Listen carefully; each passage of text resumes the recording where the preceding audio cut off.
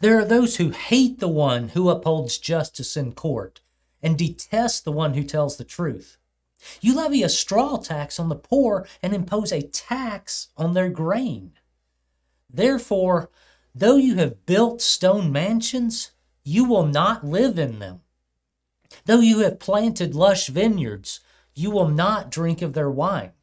For I know how many are your offenses and how great your sins are. There are those who oppress the innocent and take bribes and deprive the poor of justice in the courts. Therefore, the prudent keep quiet in such times, for the times are evil. Seek good, not evil, that you may live. Then the Lord Almighty will be with you, just as you say He is. Hate evil, love good, maintain justice in the courts Perhaps the Lord God Almighty will have mercy on the remnant of Joseph.